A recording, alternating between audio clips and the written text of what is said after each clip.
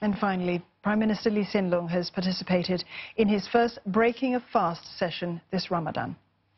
Mr. Lee joined more than 400 residents at Masjid Alkaff Upper Serangoon this evening. He was accompanied by Minister in charge of Muslim Affairs, Masagos Zulkifli, and grassroots and community leaders. Mr. Lee also met with visually impaired students who regularly attend Quranic recitation classes in Braille at the mosque. It is the first mosque here to run such classes for congregants with special needs.